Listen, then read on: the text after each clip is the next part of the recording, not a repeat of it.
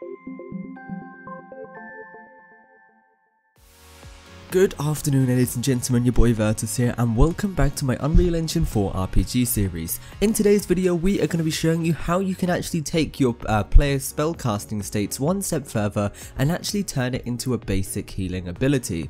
What I mean by that, if you took a look at the last video you see we actually managed to keybind the Z key to this little ability that we were doing, well not ability but casting animation that we can do that just throws the hand up in the air. However, as of right now there's no functionality, no particle effect or any of that good stuff and that is exactly what I want to be doing in today's video. So without further ado let's go ahead and get started. So we've set up all of our animation stuff already so we won't need to be touching that any further in today's video. However a couple of things that I do want to do however is I want to make sure the player is not able to move while they're casting that animation and I also want to make sure that they're not able to use that casting animation twice at once. So we're just going to be doing a bit of conditioning around there um, and just tidying it all up. So First things first, go into your character blueprint and then inside of here we're going to pretty much take a look at what we've got already and then we're just going to break that down and then set up a new thing. Now one thing that I do want to do before I go any further as well is I actually want to set up my key binding properly because as of right now inside of my blueprint for the character we just have the Z, um, the Z key key bound inside of there and it's not the most efficient way of doing things. Instead what we're going to be doing is going into our project settings and opening it up in that way. So as soon as my third person character loads up and my engine unfreezes we can get straight into that. So that's all good. Let's go into our uh, project settings real quick. So just go to edit in the top left hand corner and then just go to project settings. And then once that's open, you just want to open up your inputs and inside of the inputs, we're just going to create a couple of abilities.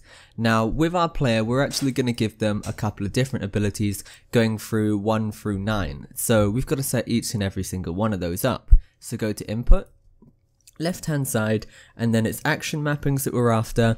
And then what we're going to do is just create a whole bunch of these. Just keep pressing the plus icon a couple of times until you get loads of these. So first one is going to be ability 1 second one is going to be ability 2 third one is going to be ability 3 make sure you've got all of these numbers numbered as well.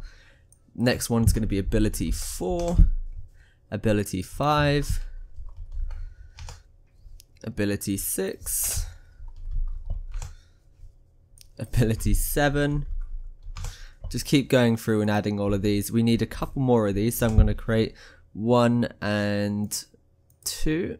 So, whoops, sorry, don't, we don't want those ones. Press the wrong icon there, so add 1, 2, so that's ability 9 and ability 8. Ability 8.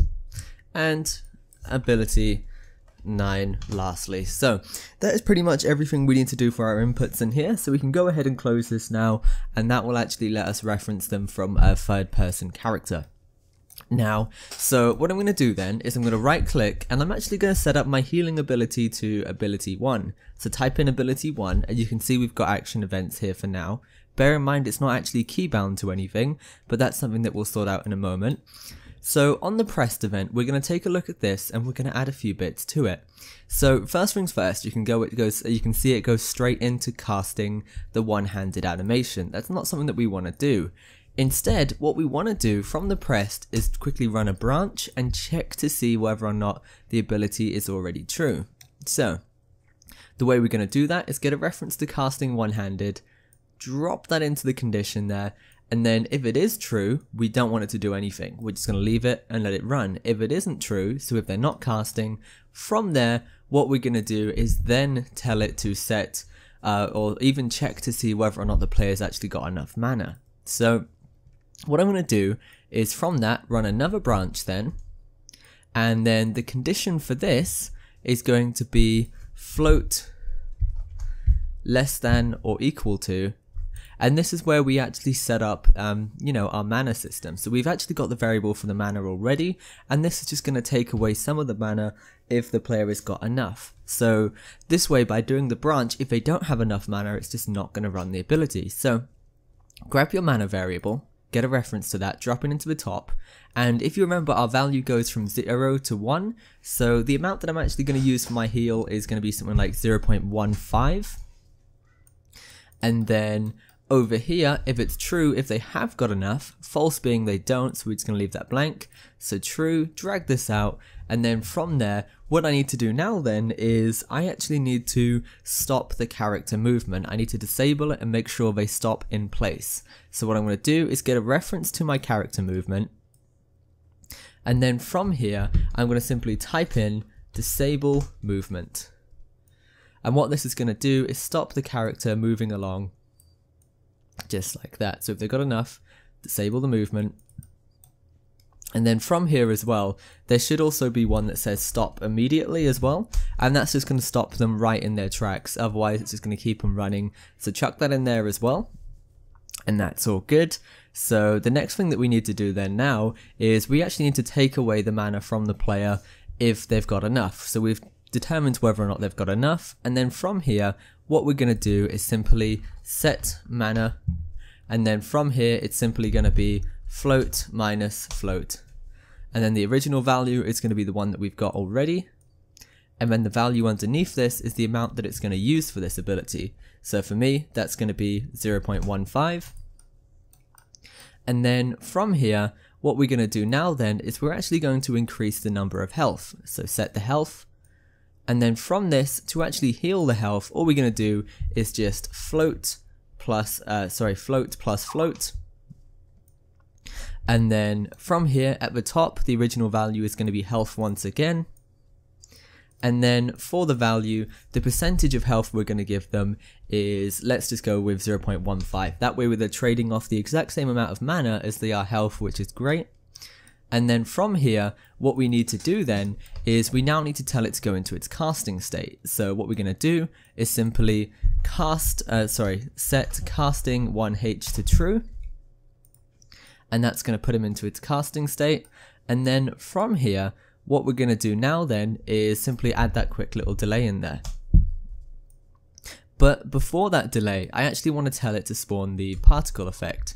So what I'm going to do is between the delay and the set, so immediately after it set, starts playing the animation, I am going to spawn an emitter and that is going to be our particle effect. So just type it in, spawn emitter at location, and then for the emitter template, a really cool one that I've actually found for my healing ability is one called the res for the resurrection. It's not the right type of you know effect, but it does look really cool. So let me show you exactly what I'm talking about. So if I drop it into my scene here, just quickly drag and drop, you will see it in a second.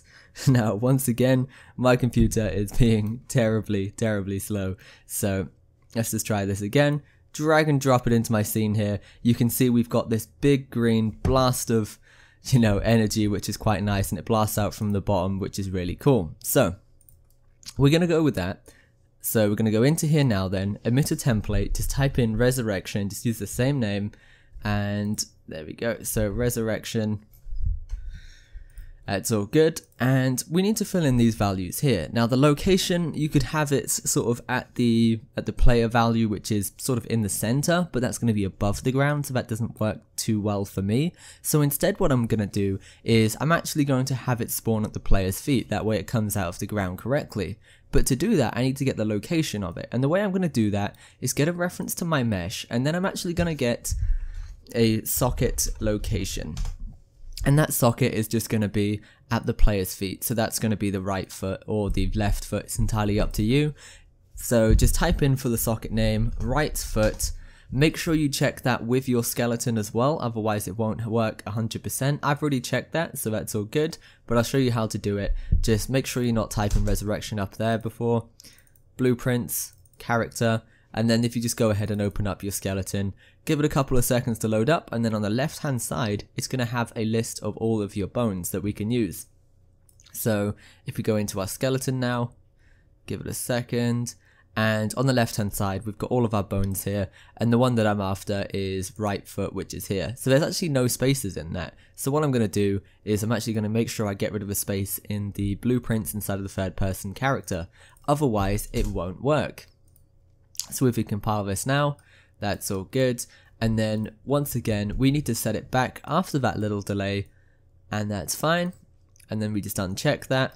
And then obviously as well, what we also need to do is we need to make sure we enable the character movement again, otherwise the player won't be able to do anything. So after this, just drop this over here. There you are. And then instead of disable, what we're going to do is simply enable character or activate character or it's just type in character movement. And then because we've got disable movement in here, you'll also find there is also one to enable it as well. So all I'm going to do quickly is just go through my little list here. And I'm going to see if I can find it. I'm not too sure of the name of it off the top of my head. So what I'm going to do is take a quick look through here. So what I want to do is quickly pause the video, I will find the name of this and we will go from there. Okay, so we're back inside of here and I've worked out exactly how we can get it moving again. It's really, really simple. So what we're going to be doing is simply getting the reference to that character movement again. And then from there, what we're going to do is simply set movement mode. And then from here, hook this up to casting one-handed and then for the new movement mode just set that back to walking and that's pretty much going to reactivate your character movement which is really great. So now we're going to be able to walk again. Now one mistake that I did notice that I made was simply that I actually did a check over here to see whether or not it is less than replace this with greater than instead which is simply just float and then just look for greater than or equal to whereas at the start of the video I actually put in less than. So simply float and then look for greater than or equal to hook up mana to the first value over here and then for the bottom value once again this is just going to be 0.15 and that's going to be a little bit and that should run now. So Last thing that we need to do then is we actually need to keybind this. So once again, we're going back into our project settings, and then once the project settings have loaded up, we can keybind this new ability to the 1 key. So basically the player is going to have all of their abilities on the keyboard using the keys 1 through 9. So what I'm going to do is at the top one, I'm simply going to press the 1 key, and that is that's it. Just use the 1 key on the keyboard for ability 2, type in 2, look for keyboard 2,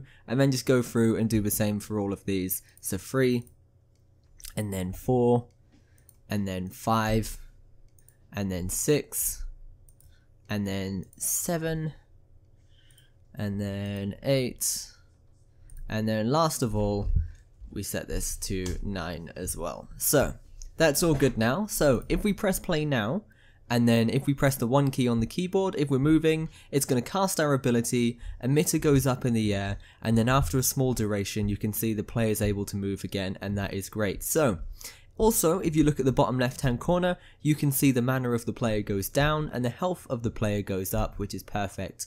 And not only that, the character can also only use this ability once. But most importantly, we've got this really cool healing ability in here now. Once the players run out of mana, they can't use it anymore, and that is perfect. Anyway guys, that is pretty much everything for today's video. I hope you have all enjoyed it just as much as I have. Once again, thanks for watching, stay awesome, keep creating, your boy Virtus, signing out. This series was made possible by you guys supporting me on Patreon. If you want to help create other series like this, then check out my Patreon page in the link in the description.